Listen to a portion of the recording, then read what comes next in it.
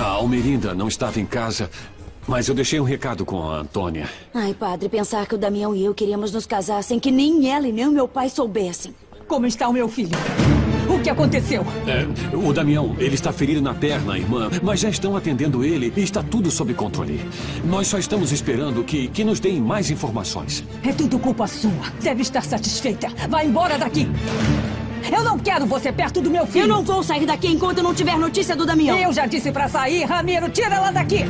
Almerinda, pelo amor de Deus, se comporte, irmã. Eu não posso me comportar enquanto essa garota estiver aqui. Eu não quero ela aqui, ela tem que sair, eu não quero ela aqui! Elisa, Elisa, minha filha, escute, é melhor que você vá para casa. E eu prometo que qualquer notícia que tivermos, eu mesmo vou falar para você, minha filha. É, por favor, vá. Está bem. Está bem. Obrigado. E você, Ramiro? Garanta que o Augusto Castanhon fique trancado numa cela para sempre. Sim, senhora. Eu não acho bom você ficar fazendo esse tipo de escândalo, Almerina, o minha irmã. é meu filho. Eu tenho todo o direito de decidir quem fica com ele ou quem não fica. Mas o que tanto estão fazendo? Olha a hora e não me deixaram vê-lo. Eu não sei, Almerinda, porque a Paloma acabou de me avisar o que aconteceu e eu acabei de chegar. Deixa eu ver e quando eu tiver alguma notícia, eu venho aqui e falo para você. Mas que tipo de hospital é esse, Edmundo? Não dizem a uma mãe o que o próprio filho tem. Os médicos daqui são todos incompetentes. O que tanto estão fazendo? Não sabem o que ele tem? Eu vou levá-lo para a capital. Você não vai levá-lo para lugar algum. Enquanto não soubermos como ele está, ele não sai daqui. E se você não se acalmar, eu te dou um calmante e te mando para casa. Entendeu? Eu vou ver o que está acontecendo com ele.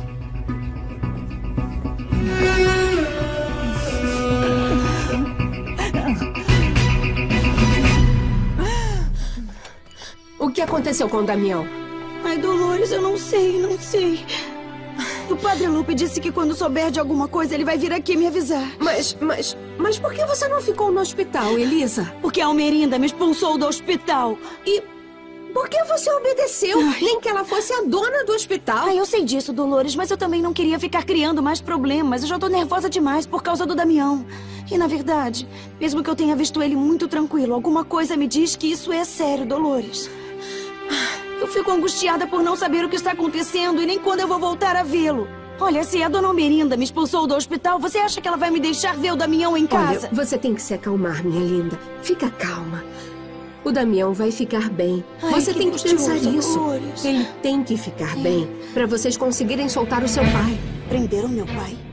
Olha, Elisa, na verdade, foi o seu pai que se entregou. Meu padrinho me disse que ia ver como estavam as coisas com ele, mas eu também preciso saber como está o meu pai. Olha, eu vou fazer isso agora mesmo. Não, não, Elisa. Mas aonde você eu vai, lá, menina? Dolores. Não pode ficar correndo de um lado para o outro, meu amor. Vem cá, minha querida. Vem. Olha só. Nós vamos ficar aqui, você e eu juntinhas, e vamos esperar que nos deem notícias do, do Damião ou do seu pai. Você tem razão, está bem. Você já contou pra tia Carmen o que aconteceu? Não. Não porque quando eu cheguei em casa ela já não estava e, e só Deus sabe onde ela está. Ai. Amor que vive, amor